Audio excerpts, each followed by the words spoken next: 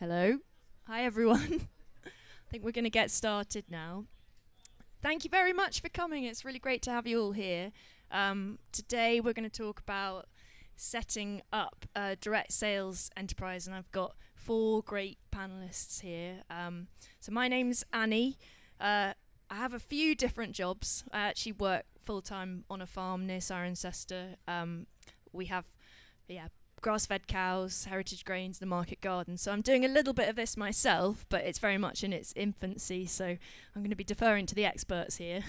um, but today I'm wearing my Pasture for Life hat. So a few years ago, I wrote a toolkit on how to set up a direct sales enterprise and interviewed lots of farmers from the Pasture for Life network um, and brought their experiences together to help people set up um, their own local marketing strategy.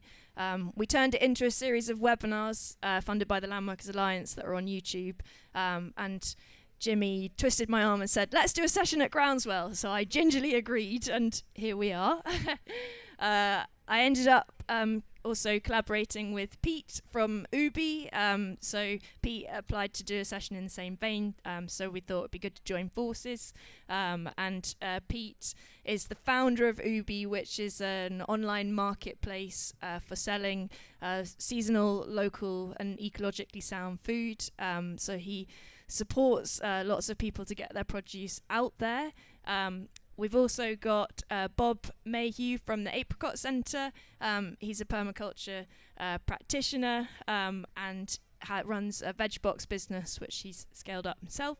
Um, we've got Abby from Piper's Farm, who's farms director, um, and yeah, general sustainable food campaigner and part of Piper's Farm, which has been going for 30 plus years, uh, bringing together small family farms to sell their produce online um, and just written a book about sustainable meat cooking.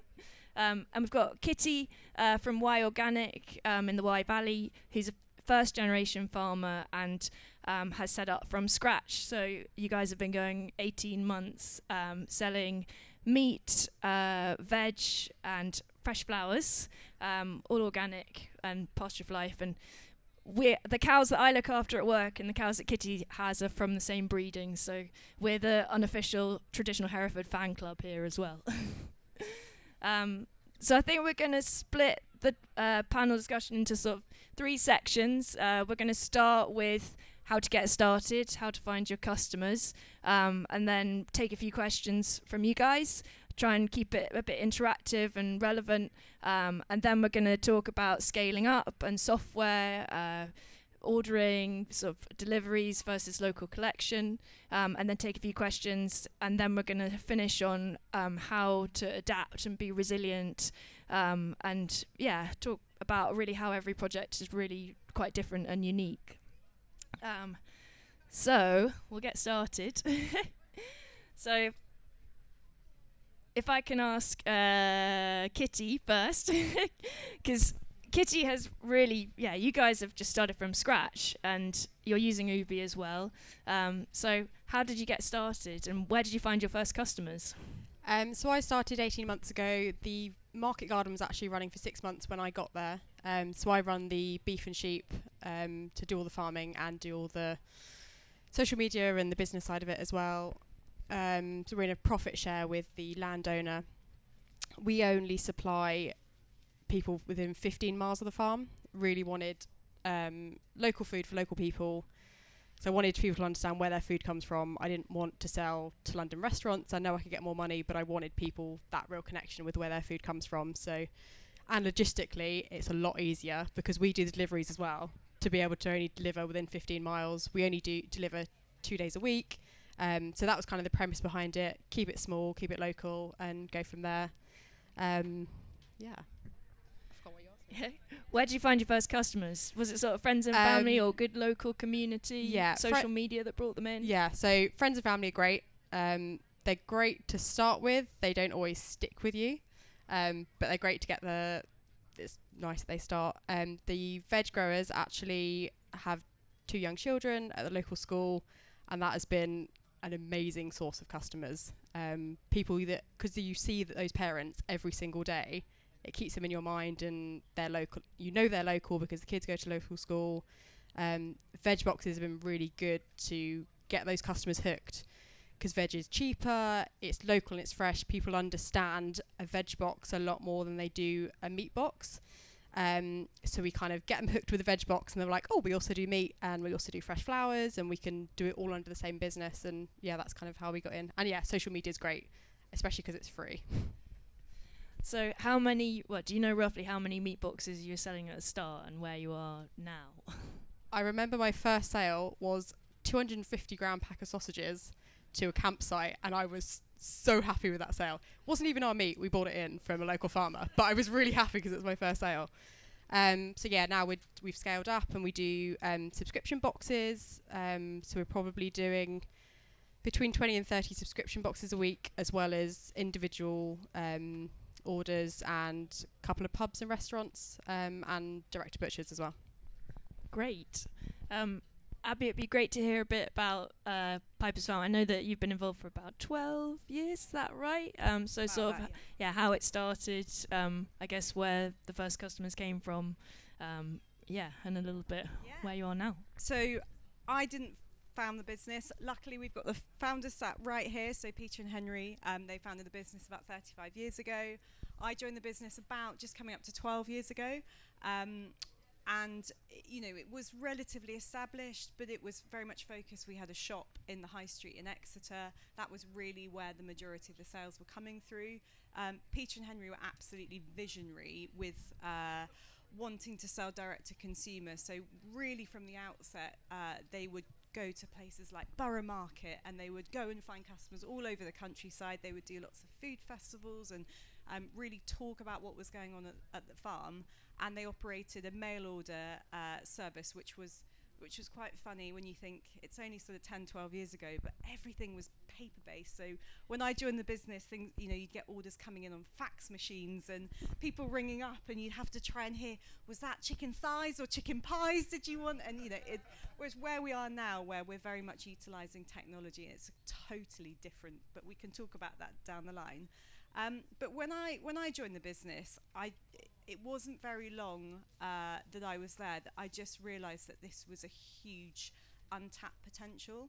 You know, the magic of the family farms that I was privileged to be able to work with and sort of share their stories and see the passion and the care that was going into every single piece of food that we were producing every single person in the team for the you know in our company that cared so much about the food that they were also taking part in producing i felt like we've got to pick this up. We've got to get if if all of our customers could sit in the office and see what i see and walk on the farms and, and experience what i experience. And so for me very much it was like how can we tell that story how can we pick up that magic and how can we get that out there and then for those people that are looking for that sort of type of food and that food system, um, it felt like it, you know, they would sort of be like you know, bees to the honeypot. So uh, I utilised a lot of things like social media to start with. Um, so really, it was very much just opening that door and trying to make things as transparent as possible, trying to find a way that we could really honestly tell people what all the exciting things we were doing. Um, I think something that is is so vital. We can all get sort of distracted by tech and you know spending lots of money on advertising, but building genuine communities, you know, is absolutely at the heart of what we do. So genuine relationships with our customers, genuine relationships with people within the sort of industry. So you know, spending a lot of time with journalists, trying to get them to come to the farm, which isn't always easy. You know, it's very, a very London-centric market, but trying to get them out to Devon and come and see this magic. And then it's almost like that sort of is a catalyst to then inspire other people, and then more people want to come, and the kind of story rolls on from there. So I was very lucky. You know, I, I haven't had the challenge that Kitty has had with a blank sheet of paper. I did walk into a business that had been going, you know, at that point for sort of 20 years. Um, but I think we very much, when I joined the business, i we changed the way we did things. We really looked at how we can strengthen and develop that community and reach more people. And um, just one thing to not waffle on too much, but it isn't always about uh, customers. It's about making change as well. If we can share our story, that then maybe that inspires another. Uh, another farming business or another enterprise like that is all for the good of what we're all trying to achieve as well. Yeah, totally agree with that. I mean, the magic of the story, and I think so much of this is about being human and being yourself, and like uh, people aren't just buying your produce; they're kind of buying into you and what you're doing on the farm, and you know, that is absolutely central to it. And I mean, I, I do some communications work, and people often ask me what to write in their marketing emails. And I said, make sure it sounds like you, not a robot. Talk about the farm with passion, and the magic will come through. So, yeah, that's great.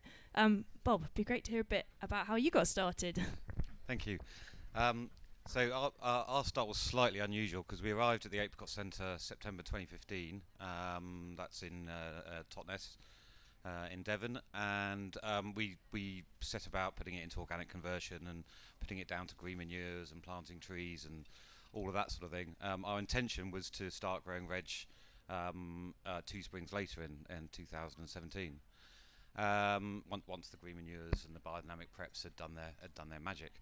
Uh, but in uh, a year later, in, in September 2016, um, we, we, we started chickens, so we needed to sell them um, and uh, we got offered um, a veg round scheme from um, a, a, local uh, a local organisation called Nature's Round. It was volunteer run. They were starting to starting to burn out, so they said, "Do you want to take over the veg box round? Here's a, here's a van. Here's a customer list." etc., um, etc. Et so there was like 30 to 40 customers on that list, and uh, we didn't have any veg. Um, uh, but they had a model where they bought in um, from local trusted uh, people um, uh, and some bigger players like Riverford and um, Shillingford down the road. So we thought, yeah, why not? Let's give, let's let's do that. So that when we when we do start growing veg, um, six months later, we'll actually have a market already for our veg.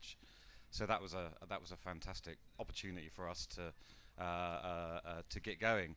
Um, and then the same same thing happened the following summer because um, we wanted to do markets as well. Uh, and I've been making friends um, with the with the uh, women that run the uh, organic veg stall on Totnes. Um, uh, Totnes Market on a Friday, and uh, she said she was getting burnt out, didn't want to go through another winter. Um, did uh, did did we want to take over her market? And that's really difficult to get into in on Totnes Market. So we kind of pretended that we were partners for a couple of couple of months or so, and did a did a kind of transition, and then and then suddenly we were up and running uh, with the market. Um, but there's something about what uh, what what what we now call uh, building social capital that was really important around that. Um, you know, you might call it networking or just being friendly or, or whatever, but uh, the, the, people that ran the uh, the VegBox scheme um, uh, also ran something called the Squash Cooperative in Totnes, uh, and they just grow squash all over all over various different sites. And I went and volunteered and, and helped with them and stuff like that. Um, I didn't do it because I wanted their veg round at all, but you know, I was uh, it was just networking with unintended consequences, I guess. You know, just getting yourself getting yourself out there. I moved into Totnes.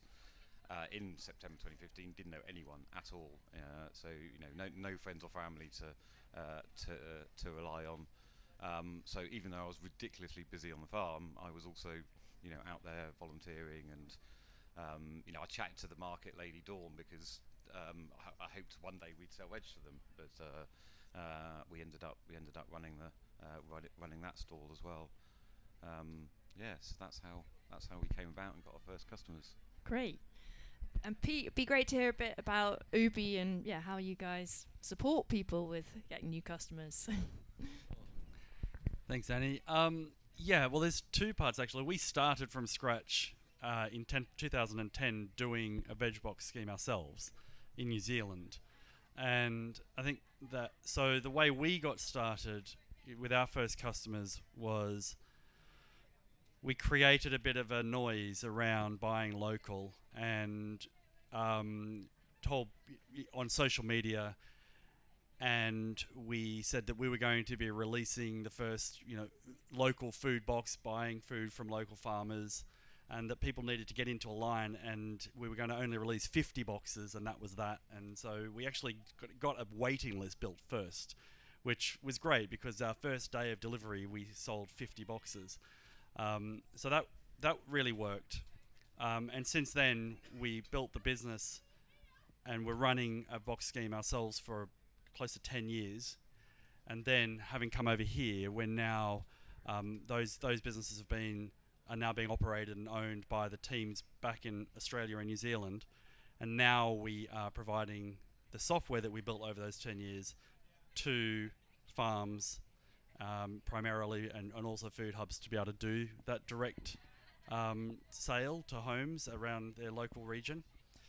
Uh, so we've seen a lot of, uh, there's about 60 uh, farms running on the platform at the moment and have all come in at different stages.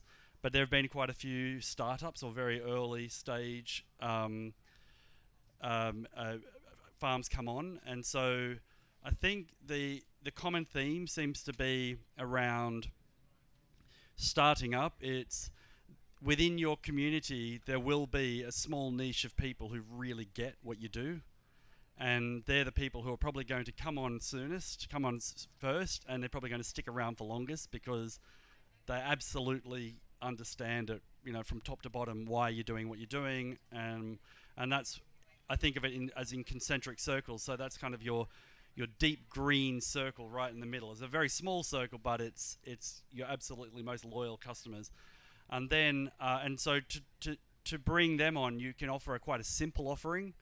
Um, and then the next concentric circle are going to be more concerned about well does it you know the convenience factor of it um, uh, and making sure that it works for them and the next circle out is we're going to be more concerned about price and range and things so starting small means you keep it really simple and then as you expand your range and expand your service um, then you can start to expand your customer base that way Great. Should we take a couple of questions? Has anyone got any questions so far on finding first customers and how to get started? Oh, one at the back over here. Oh, yeah. We'll go to the back and then come forward. Thank you.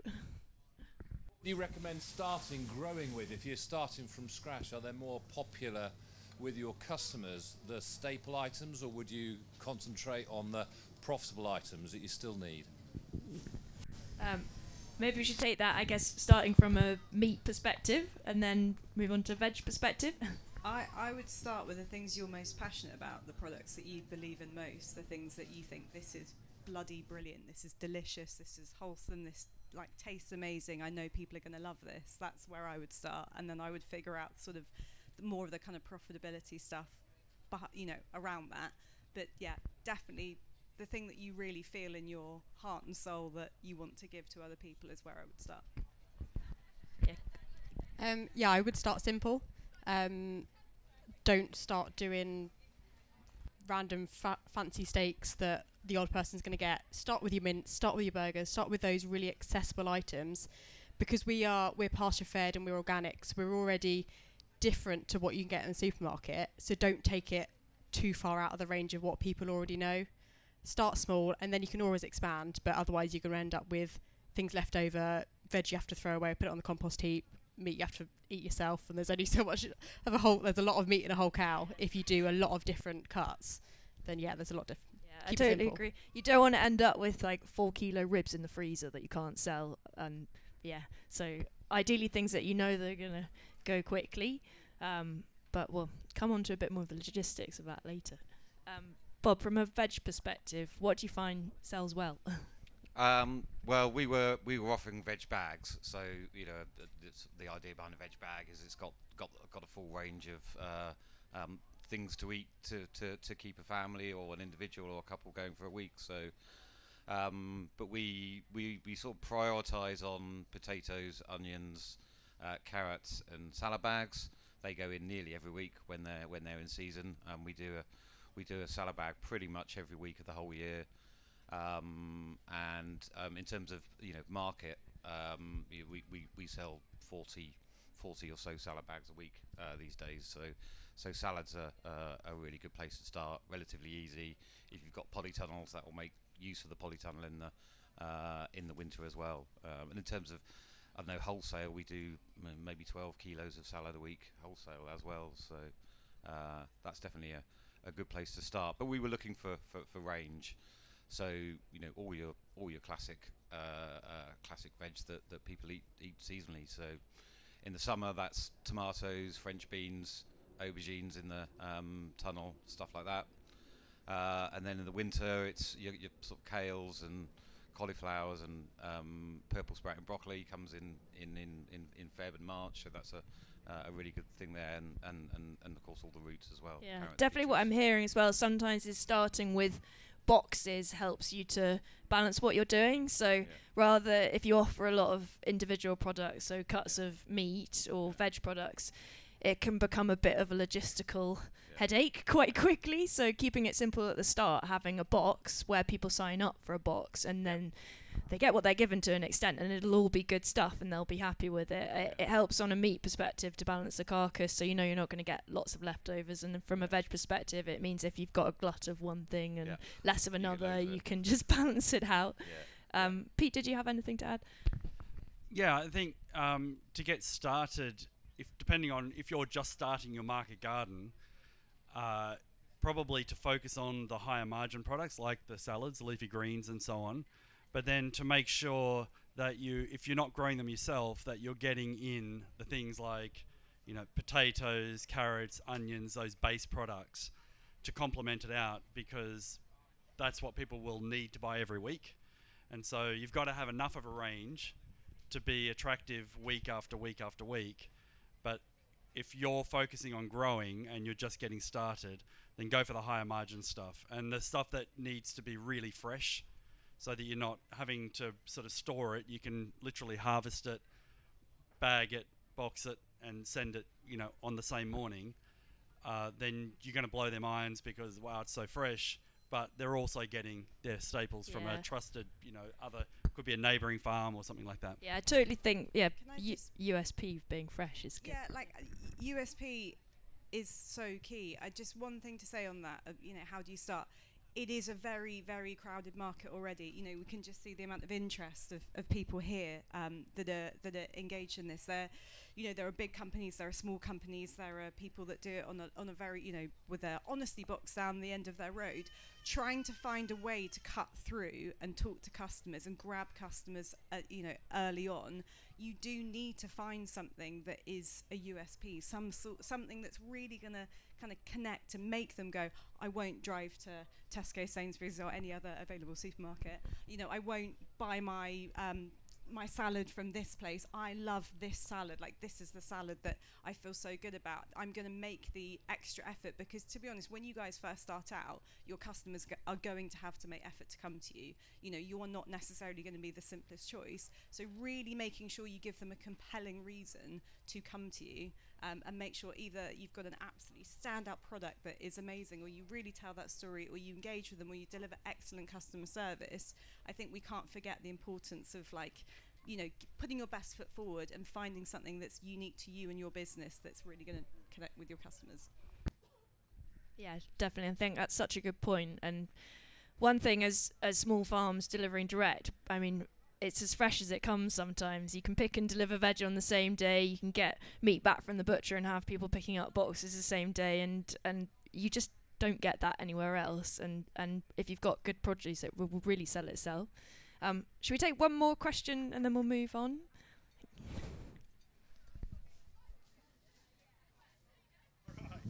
Hi there. Um, do you ever have a surplus, and if so, what do you do with it?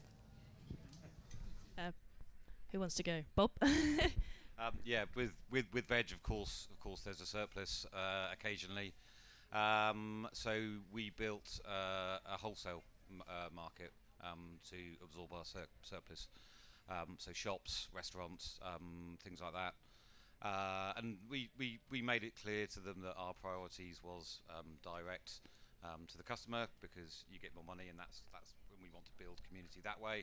Uh, and they were happy with that. And um, uh, so our first, uh, um, well, our second August was was really interesting because we had about 70 customers, and then in August everyone goes on holiday or they've got an allotment, and just when you've got your most veg, uh, our, our orders literally halved. Um, so because we built that relationship with um, uh, local shops and restaurants and stuff like that, we were we were able to to get rid of our our surplus.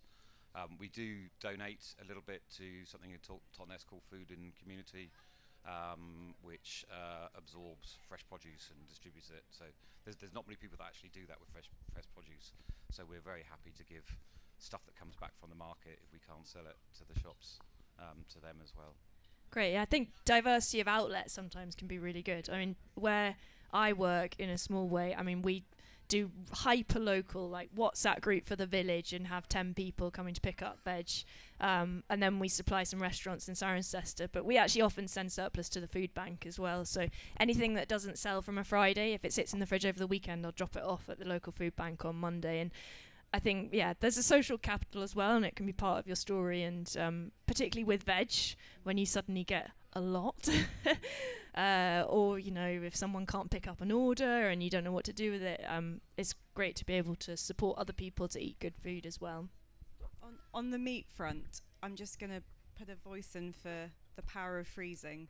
There's this bizarre thing with meat where people feel like, oh, if it's frozen, it's not as good. And actually, like, I think we have to change that narrative to to really have a properly sustainable supply chain. Freezing is absolutely paramount um, in that carcass balance and that sustain. You know, you guys know the the way to balance the carcass there will be things that go so much quicker than other things. It is inevitable if you're in meat production that you will have to ha- like you know have that. And yes the boxes is a kind of a way but it's also a relatively inconvenient way for your customers to buy like the longevity of people buying boxes if you if you look at those kind of data studies they might come in on a box but they don't tend to stick with them so being able to offer those individual cuts and being able to give people what they actually want is really key the way to do that is to freeze food um, and freezing is not, you know, we have done all of the trials and testing as you can imagine. You have to look at it as, you know, we deal with whole, whole carcasses. We are waiting for that carcass to be absolutely at its perfect moment. We're looking at that going, right, this is the moment we're going to cut into that. It's like harvesting a beautiful fresh pea in a field and then instantly blast freezing it. You're actually locking in a lot of that flavour and nutrients. You're giving people that absolutely wonderful eating experience and it's the best way of producing a kind of um, a properly sustainable supply chain taking the pressure off yourself uh, and then being able to yeah to free up your time to do other things so yeah one just a sort of big big love for the for the freezer out there because it is it is so key in in meat Totally agree. Kitty, did you have anything to add? Uh, yeah, I definitely agree with the freezer and also taking pre-orders. Um, so you know what you're going to have, what people want. You don't cut everything up and you don't dice all your lamb shoulders and then someone comes in and wants a whole lamb shoulder and you're like, oh, why did I do that? Um, it's great if you've got it in the freezer, but um, yeah, if you can get those pre-orders and then you know how to cut it up, that is a it's a real it reduces the waste you've got. And yeah, so we we have a pre-order, so I know what's going out fresh that week, and anything else that is going to be surplus, it is frozen the day it's butchered. So there is no there's no wastage there. It is as fresh as it can be. Um, it's not like oh I've put it in a fridge for a week and it doesn't sell, then I put it in the freezer. Because I've got those pre-orders, I know exactly what is going out fresh and what is frozen.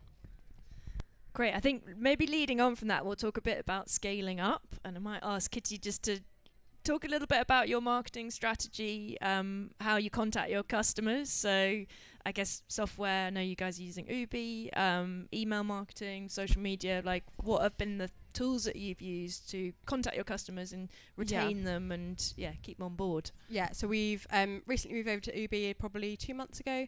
Um, so we've got a website. All the that's where everyone places their orders. Um, wholesale orders come in direct to us through emails or phone, but um, everyone, general public, order through the website. So all the information's on there. We also have a weekly newsletter. So we have meat, veg, and flowers on the farm. So every week in that newsletter, the those specific farmers will write something in there, whether it's just something you had a hailstorm in the flower garden and this is what you had to do, or something happened with the sheep that was funny. It doesn't necessarily have to be about the product, but it has to be about the story and get people engaged and th- so they actually realise where their food comes from and they associate it with the farm or the people or something, not just that end product. Because you can go into Tesco's and all the products are there, but you don't know where it's coming from. So yeah, if you get people hooked on the farm and on you, then that yeah, that definitely really helps. Yeah, def- uh, like keeping it visual, lots of pictures as well is Yeah. really nice. Instagram is great. Um, people say, "Oh, Instagram's amazing," and they remember that, even if um, they're not buying something that week, but they'll see it and it keeps you in their mind. Um, yeah, don't just show the good bits as well. Don't show the really bad bits. We don't show dead animals, but um, be real and realistic because people want that. They don't want a highlight reel. They want to see all the great bits and beautiful farm and amazing meat, but they want to see when it's snowing, your tractor's broken down, and you are rolling out bales with my dad because he was the only one to help me. So they want to see, and that, that just connects them with it. So yeah, social media is great and it's free. And also, um, local Facebook groups, local villages, it's free to advertise on. You are advertising directly to who you want to um, buy your project. Um, we tried Google adverts, but just because we only deliver within 15 miles, it was just too widespread. You're paying for it, and we actually weren't getting a return on investment. So yeah, Facebook advertising was so much better. Yeah, such a good point, kind of keeping it quite lean at the start. So, like, low investment, like, go local, look for community groups, schools, social media. There's actually Yeah. so many tools that don't cost anything. Yeah, don't pay someone thousands of pounds to do a website. Don't do it. You can do it yourself. It's there's it's so easy. There's YouTube videos that show you how to do it. Don't pay someone thousands of pounds to do it. Abby. I completely echo every honestly that just you've nailed it. I, it. It is that thing. Don't don't spend the money. Don't spend the money until you know that that's the right thing to do. But like, work with all those free tools, build that community, explore all those avenues, and um, and only then when you really start to understand more about your customers and where to find them, then that's where you can sort of incrementally increase your your potential investment. Test things. Don't just sort of throw things at it and think it's going to work the first time. Don't be disheartened if it doesn't work the first time. Try it again. Do it in, a different way. You know, the visual thing is really important. Um, you know, people are really fundamentally lazy these days. They don't like to read a lot. Um, and you know, I spent years writing all these blogs and doing all this stuff. And then when you actually looked at the data of how many people are really, really reading it, it was tiny. And you think, okay. Whereas you know, the visual side, if there's a way you can instantly connect, like through Instagram or just taking a really good photo, that's for me where I mean, that was where we spent our, you know, first pounds was was hiring an amazing photographer who is a very dear friend of mine, and we have worked together for ten years, and you know, led to a lovely cookbook and all these other things, and the brand that you see today. That is the best money I probably have ever spent in marketing in the business um, to really tell the story of our producers over and above anything we've spent with Google. Because photos of meat quite difficult. I mean, I've tried to take my own photos of meat. It's Very, the va- thing to do in the varying world. success. and yeah, when I when I first came into the industry, the photos were, of meat were like a white background with a nice piece of parsley, or maybe someone had shaped a carrot next to it, and you know, and that was it. And it was all, all sort of marketed as, you know, whatever per kilo, and and that's how it was kind of sold to to customers. And I thought. I'm a customer. I don't. I look at this. I don't understand. Is that going to feed me and my other half? Is it going to feed five of us? So trying to find a way where you can visually tell the story, like show people what it looks like when it's cooked as well. You know, inspire them, create recipes, like all of that stuff that you can do um, and share. And the other thing to say in terms of like, you know, tools, go where your customers are. Like when you start to build a bit of a kind of understanding of, of who's coming, even if it is just friends and family, find more of them you know just try and think where are they going to be? And then go there. And if that is you know your parish magazine or um, school events like schools are quite brilliant with doing barbecues and bake sales and all sorts of things go there. Don't be afraid to start small. Don't feel like you've got to launch yourself straight into the world of google. I mean i would avoid it like the plague all of that stuff because um, it comes with all sorts of other challenges. But yeah utilize your community and think think about the um, think about the how your customers perceiving you at all times. Great. Bob? Uh, yep. So definitely all of that. Um, our our top Facebook post ever was when when we lost a cow. Um, so yeah, people enjoyed reading about people enjoy reading about disasters, don't they? And all, the, all of that sort of thing. yeah, hon- honesty to an extent is Yeah. definitely really good. Yeah, like, Uh, people engage with it. Yeah, we did find it in the end. um, so Chasing cows around too yeah, works yeah. quite well. Just uh, so just to add some, some something slightly different to, to all of that, which is which is really important for us.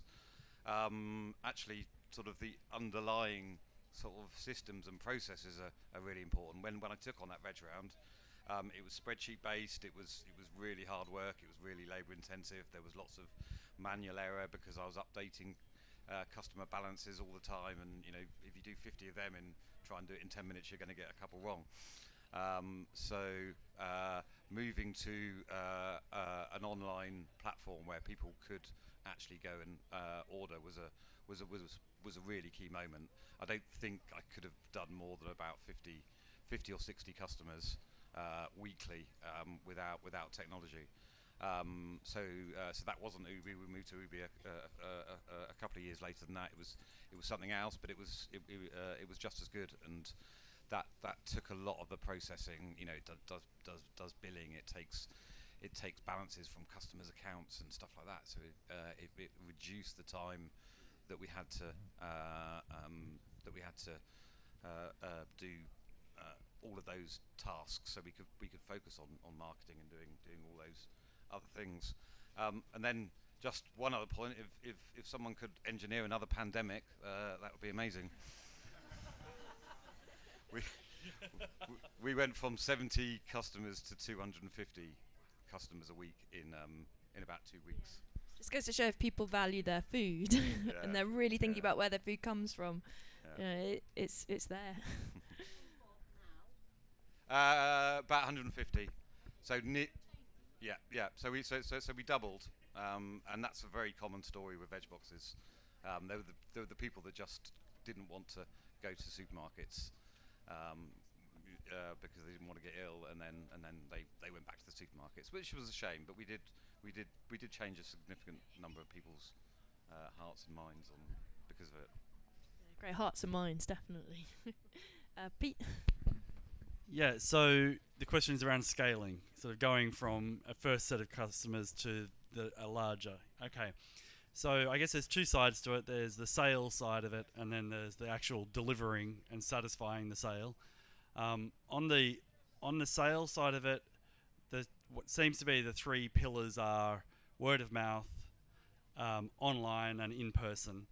And word of mouth is always a winning. You know, th- we've got these surveys that you can set up when people are signing up, which ask people, "How did you hear about us?" And word of mouth is always, you know, the the highest um, in terms of getting new customers. The other is online, and that breaks down to uh, either social media, which again keep it really visual and just keep the content rolling because people just get familiar and feel comfortable with what they're familiar with, and they can build a relationship with you through that, or a, a sort of a quasi relationship. Um, and then the other part of online is search, like not paid advertising so much, but just making sure that the, the site is optimized so that when someone is searching for anything like what you're offering, that you end up at the at the top. Um, because again, when we look at those surveys, it's usually word of mouth, found you on Google or Facebook, you know, or, or Instagram or one of the socials. So they're the real pillars. And then in terms of the actual scaling, you know, you can it's it's easy enough to sell your first box to somebody because you're selling an idea in their head and they're like, "Oh, I like that idea," and it's great. It's the second and subsequent boxes that are harder if you don't deliver on time, in full, charge the right amount, um, answer their question quickly, or have the information at hand so that they don't have to ask you the question. So the the logistics and the coordination of your operation is a really big part of your sales because that's what that comes down to retention and if you're only adding one or two customers a month, but you've got really good retention, then you're going to grow. But if you're dropping off three or four customers and you're adding three or four, then you're not growing. Thanks. That was really great. um, should take a couple of questions. We'll go at the front. what about Mike's coming? what do you think your kind of average subscription time is? As presumably people are dropping in and out all the time. It depends on how long you've been running. Like we we keep the data on that to say what's your average lifetime value of a customer. Um, the longer you're running, the longer that goes because you've got some customers that are just super loyal. Um, so it, you, the answer is, you know, it, it, changes over time. But let's say you've been running for a year you're probably, on average, going to be having an average lifetime value of 12 to 15 weeks per customer. Some are going to come on, have one box, and then leave. Others are going to stay for a longer period of time. But again, there's so many different variables that affect how long customers stay on. You know, the quality of your food, your service, all sorts of things. Uh, yeah, I, th- I think that's almost an impossible question. It's so dependent on your business. Um, like you know, with us, and it also depends on uh, like our lifetime value and our average order value and all of that stuff changes year on year. That can be impacted from what's going on globally in the world, from news. You know, it's it's so dependent what products you're selling and like you know, like you said, the service that you offer and, and that sort of thing. I think what you guys need to try and if you're sort of looking at taking on this journey is what works for you. Like you obviously want to recruit your best customers. You obviously want to have people that buy regularly from you and you build that relationship. And so it's finding ways that you can kind of deliver that and do that. Um, and then it's trying to sort of spot the bits where maybe that you're, you know, we've all got gaps and things where maybe you're not delivering the best. So whether it's like, okay, we need to improve customer service or we need to improve delivery. We'll talk about the big scary delivery because I know that puts off a lot of people. Um, and try and really refine those processes because you know we want that number to be as high as possible. Great. Should we do another question here at the front? Thank you. Um, if you grow your business, you get bigger, and then you become an employer as opposed to self-employed. Uh, do you recruit full-time workers, seasonal workers? Do you uh, have students? Do you um, even get migrant labourers? Um, what you, could you say about the problems that you have faced in terms of as you grow your company? Bob. Want me to go? Uh, yeah, so we so so we've we've we've grown quite quite rapidly. Um, when when I fast first started doing that round, um, I did it all. Uh, uh, I I did all the sourcing, all the customer work, um, uh, the driving, the packing, you know, absolutely everything. Um, uh, we've now got a, a farm team of, of, of nine FTE. Um, nearly all of them are full time, um, because certainly on the on the growing side, um, we don't really want seasonal workers um, because we don't want to have to, to re-recruit them um, uh, every year. So so we try and um, keep them busy. Obviously, there is more work in the summer, but we have a model where we do um, uh, um, jams and preserves and chutneys and stuff like that. So all of the all of the fruit that doesn't get sold or is slightly blemished or something like that goes in the freezer, uh, and then that uh, we we pull that out of the freezer and uh, and, and make stuff with it in the um, uh, in the winter months. So that's great. Um, the only part-time roles we have are uh, is a driver um, who's very happy to work part-time around other uh, uh, other work.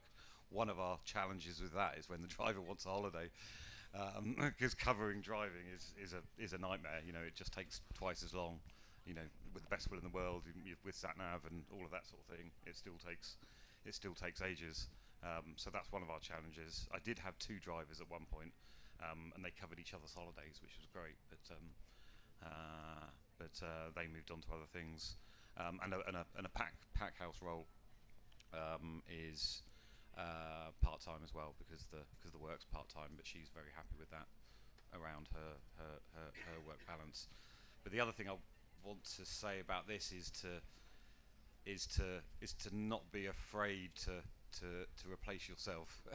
um, it often works much better. Uh, so myself and, and, and Marina, who I work with, are, um, are really busy um, on uh, on the farm and doing education and consultancy work and, and stuff like that.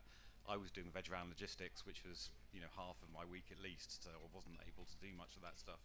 Um, Marina did the markets, which was mo- best part of Thursday and and Friday. Um, so we took on a sales supervisor, we called it, called Claire, um, to do all of that work, uh, and that freed our headspace enormously to be able to um, to go off and you know I you know come come to things like this, which I could never never ever do because I was always having to be there um, all week, every week. And of course, because she's full time and focusing on it, she's doing she's doing a much better job. Great. Yeah, no, I, I totally hear that.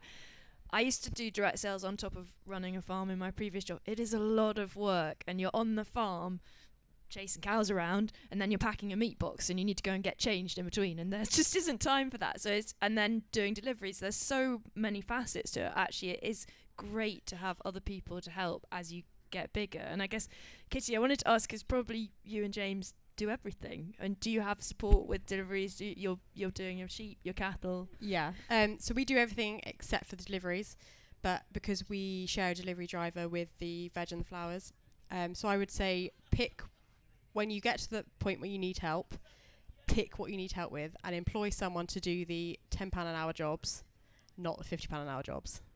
Free up yourself to do that, and it is really difficult for farmers to give up that control if they've been doing everything, um, especially at at the start of it, you're going to get problems because they're not used to the system or they're doing it differently. You just have to work through that and not go, well, I'm just going to carry on. I'm going to do it all because you can't do it all when you scale up. Um, so yeah, we're on that precipice. We are still doing pretty much everything except for the delivery driving. But um, on the veg side of it, they've got um, a part-time for the veg grower. There's a fu- there's a full-time and a um, a part-time who does five days a week during the summer and then down to two or three days a week in the winter. Um, so getting someone that is flexible, um, but then we've got a seasonal flower grower that just comes in for the summer months because there's just not enough work for them in the winter. Um, I think we might move on to our last section because we've got 15 minutes left. uh, so we talk a little bit about um, adapting. I guess we've touched on these themes a bit all the way through, but kind of how to build resilience uh, into your direct sales and adapting and collaborating and the what not to do's and the what to do's. um, I guess if we go to Pete, um, how do you feel like you've adapted? What sort of big challenges have you overcome? Yeah, I, the two types of adapting is adapting as you grow to be able to cater to customers that maybe are more demanding or expect more. And um, a few examples are having the ability for customers to, you know, exclude something that they don't like or that they might be allergic to, and having to sort of adapt to their to their needs. Um, you know, the the customers that want to be able to book in holidays and know that they're not going to be receiving a box while they're away and things like that. They're, they're more just features of ensuring that you're satisfying those those you know broader sort of range of customers. Um, but then and then there's a, sort of adapting through time. Um, there's always new things happening in the market, and it's an evolving space, and um, you've got to be keeping up with what the trends are and what people are expecting. So there'll always be new entrants coming in and offering a new fancy thing. Uh, and I think that if you if you feel like that you you know you can't you've just got to keep doing what you're doing, that you might find that you'll start falling behind. So always thinking about how can we create a new kind of offering, a new kind of bundle or something that's going how can we partner with someone else to be able to bring something new and fresh to your offering? Um, because yeah that's that's the world of the world of the food business anyway. It's a it's a constantly changing palette. It's almost like fashion right? You got to be evolving but also staying true to your real to your real roots as to what it is that you know you're delivering uh, but I guess it depends on what you're facing too situational if if for whatever reason things aren't working like the way they used to, then you've got to think it through. You've got to get creative and you've got to say, oh, what's going on? And ask your customers, you know, listen to them and find out where, what are those paths towards something new and innovative that they're going to love. Great. Bob? Thanks. Uh, so um, partnering and collaborating um, is quite important to us. Uh, in, in Devon, there's something called the Good Food Loop, uh, and that is uh, that enables me to uh, to sell produce on uh, in um, Plymouth um, using a, a company called Tamar Grow Local. Um, so that's so, so, that's a Plymouth audience that we can reach. There's one in Exeter, um, and there's uh, one um, in the Sidmouth area. Um, so that's that's way beyond our delivery capability to get to all those places. so that uses uh, a website called the Open Food Network. Um, so I can just list my products on the Open Food Network. Um, and then what the Good Food Loop actually really is, uh, is a van that um, starts in Plymouth, um, brings us produce that we might have ordered from um, from growers in, in, in Plymouth, um, comes comes and picks up our orders, takes it to Exeter, and then another van comes from uh, um, from from Sidmouth and intersects with it. Um, so uh, and then obviously there's fees. There's a there's a, there's a 10% fee on that and on all of that sort of thing. But uh, but I sell more flour, for example, um, through through those websites than I do on my own website. So um, it's just giving me an, uh, uh, additional markets, which is which is amazing. Um, and then the only other thing to say about adapting is is to is to get to get extras to get stuff into your uh, um, uh, uh, um, into your um, ordering system. So uh, bread, list cheese, we list milk, all carefully selected, obviously um, uh, um, artisan and organic products and all of those kind of things. But uh, you know that that might push the average spend up sort of from 15 pounds to per 19 pounds per customer, which is obviously obviously important. Great, Abby.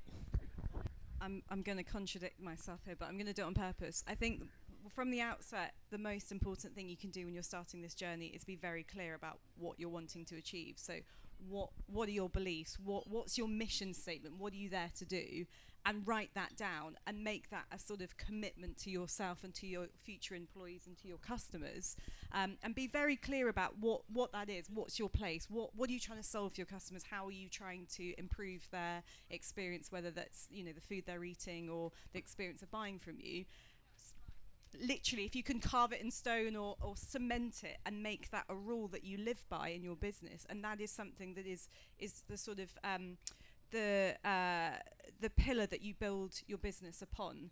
And then when you are then looking to adapt, you've got something to come back to. Because what can happen when you're on this journey is it can be very easy to get distracted by trends or, you know, feel the pressure of what other people are doing or, you know, the competition is now doing that, people are saying this and you can sort of move away from actually what is at the heart of your business quite easily. Whereas if you always have that thing to come back to, it will help you guide you on your journey of adaptation. And so, you know, we've we've and this is where I contradict myself because we have done many things over the years. We've had shops, we delivered to chefs and wholesale.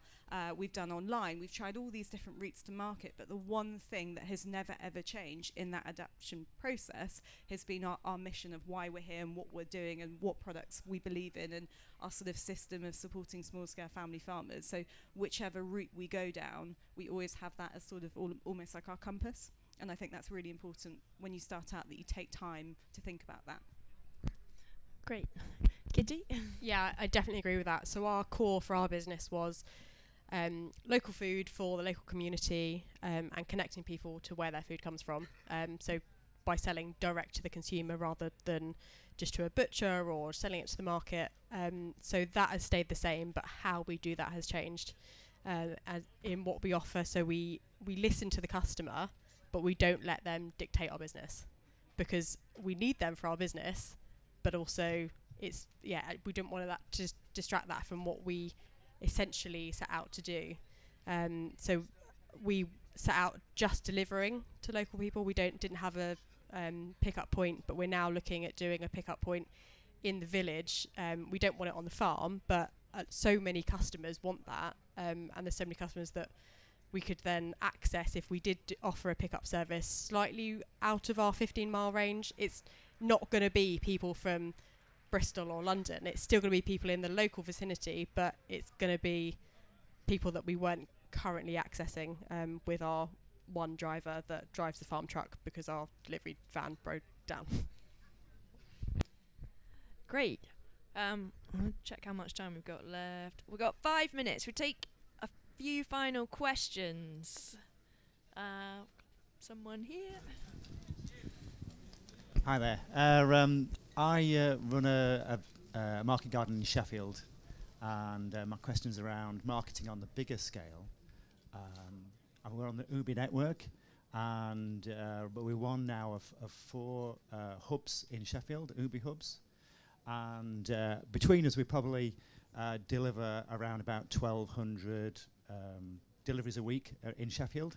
That's in a population of about half a million people, so it's still very much a drop in the ocean. And, and I drive around in a in a van that says organic, Sheffield grown, farm fresh to your door, and I'm always wondering, well why aren't people battering on my on my van door saying, "I want your produce"? And I think the question is, we're we're market marketing against uh, um, the bigger powers of the supermarkets, and so collectively, in somewhere like Sheffield, how can we promote the organic local message in a way that will benefit all of the different um, providers, the local providers? So, and is that something that perhaps Ooby could be a part of, enabling that? Uh, so that's the question. Yeah, it is a conundrum. I mean, it's what you guys are offering and, and all of the local hubs are offering is something that is a no brainer, right? Everyone should want it. Uh, but I think that ultimately there are the people who are tuned in and then the people who aren't tuned in. And the tuned in people are on, you're already your customers. So there's an art to getting a message across to the people who are not yet tuned in or on the edge um, and that it's it's something that an average farmer who's got a really strong skill set in farming can't have the time to get to know the skills and the art of influence, I suppose, in when it comes to marketing. Uh, yeah, it is definitely a thing that we've talked about, and we've just Kelly, who's at the back of the room today. She's um, she's just joined the team and has a very strong marketing background, with and we're working on ways that we can help to sort of narrate a story on your behalf, um, and not a, you know a story about say Moss Valley Market Garden, but wrap that around a general story that can penetrate you know the people that are on the edge of thinking about this, but they don't quite know that they want it yet. So yeah, I think that there is a real opportunity to to elevate, you know, the um, the awareness and the message in a way that is professional, in a way that people feel like they can trust it. Um, so yeah, it's a, it's a big challenge, but I think it's one that we can we can definitely contribute to. Yep. Should we take one more question at the back? At the- yeah. So my question is about social media in terms of using it as a str- uh, strategy within your marketing campaign. Um, it's twofold, really. Firstly, what further intel can you gain from the customers you already have in terms of their engagement with social media and using that to build a profile of finding new customers? And then, secondly, how do you distinguish between genuine customers and people like us, enthusiasts, to your site or to your Facebook uh, or Instagram, etc.? Yeah, I guess are you doing any metrics tracking, or was that something that thinking about? But I don't know. Yeah. Yeah, I can, I can, I can respond. I mean, um, we haven't actually done that much yet in that space. You know, we've been far more focusing on operational, but I do understand, you know, the the basically the profiling of the existing customers, and then saying who else out there is like our existing customers, and and how do I find them, and how do I reach them. Uh, I think there's there's definitely a way that we could be that we could be assessing who those customers are and what their traits are to be able to do that. Um, it's a it's a the point is every every hub the customers are their customers. It's like it's not we we don't you know that it's not our data. It's the data of each each farm or uh, that's doing. So we need to be you know mindful of that. Um, and in terms of distinguishing between an enthusiast that's kind of just gone, wow, that's amazing, but they're not really that into it, and they only really the only way to distinguish is how long they're there for. Um, assuming that you've delivered a, you've delivered what you say you're going to deliver. Um, so, you know, you we quickly you could build up a, a profile of right. These are the long-standing customers. These are the one or two box customers. What's what are these guys have in common? What do these guys have in common? And you could start to profile out that way. Yeah. Go just uh, to add that, so we track every metric under the sun. Uh, you know, the scale we're at, we track every single number you could ever possibly track. We know everything that we can possibly know. If there's a way of getting that information, we'll get that information. Do we use all of it? No, we do not. And that is the thing, you can drown in data. There is some data that is so helpful, and there is some data that is just going to take you down a rabbit hole, and you're just going to fill yourself with more questions than you have answers to. I think when you when you um, consider data, it's the same approach when you know if we're talking about on a farm there's there's a sort of data that we're mapping with maybe um, if you're using something like Soil Mentor and you're really tracking things, and then there's that farmer, the farmer-led data where you go, actually, I can see that the hedgerows are, are wider, the grass is growing quicker, and I think it's that thing of like. What is your real experience? So, what is that? What are the things that you're genuinely seeing? Are you seeing? Uh, are you seeing more customers picking up the phone? Are you getting more email inquiries? Can you look at that rather than kind of hiding behind some of the numbers? And the the worrying thing about social media is. Um, you know the algorithms and how much uh, how much information that you cannot access and how much of it is falsified as well. It is you know social media has changed. When I first started out with Pipers ten years ago, uh, 10 plus years ago, it was an amazing tool for attracting customers. You had very clear insight into what that customer was doing. Quite a lot of that that data is now hidden and quite a lot of it actually isn't really reflective. The reach is, you know, we have something like 45,000 followers on social, uh, but I think now your average reach is about 4% of your followers. Um, and so, you know, don't get lost in the data. Uh, use it as a sort of shadow to guide you, but use your real life experience and that sort of visual feeling and knowing how much is going out the door at the end of the week to really guide you. Yeah, I think that's great. I think we're we're going to end here. I just want to say thank you so much to everybody. You've been really generous with your knowledge, and I just think it's really fascinating how every project is so different, so unique. Everyone who starts this kind of thing on top of a farming business or um, market garden. You all take your own path. It's your own journey, and you have your sort of central pillar, but you have your adaptations. And being flexible is super important as well. And you know, I think you learn very fast what to do and what to do next just by trying things. Don't be afraid to do it. It's a lot of work. Make sure you're aware of how much, you know, uh, time you've got to actually put into something like this. But you can really add value to what you're doing and seeing your produce go out to customers and I can speak from my own experience is really special. Eating beef or veg that you've produced in a restaurant cooked by a chef coolest thing ever. um, so uh, yeah, I'd really encourage you to have a go. And thank you very much.